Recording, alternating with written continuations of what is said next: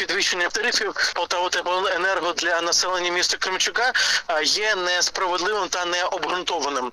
А адже підвищення будь-яких тарифів є певна процедура, котра повинна пройти через е, певний алгоритм на сесії Полтавської обласної ради е, і так далі. Проте ми знаємо, що е, згідно указу президента України від всі тарифи не мають права підвищуватися, які були встановлені до 24 лютого 2022 року. Тому підвищення Полтава теплоенерго тарифів є необґрунтованими. Вони навіть нашій міській раді не надали та не надавали усі необхідні е, документи е, щодо того, як вони пояснюють, що вони є обґрунтованими е, піднятими.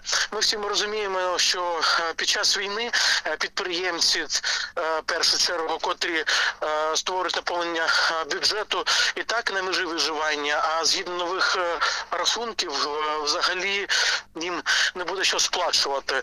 А про населення ж е, теж потрібно казати, що для них е, рахунки е, виростають понад 52%. Теж захмарна е, сума. Як депутат міської ради е, вважаю, що е, тарифи Полтава теплоенерго не відповідають е, дійсності, і депутати міської ради на чолі з мером будуть повністю відстоювати інтереси мешканців міста Кременчука.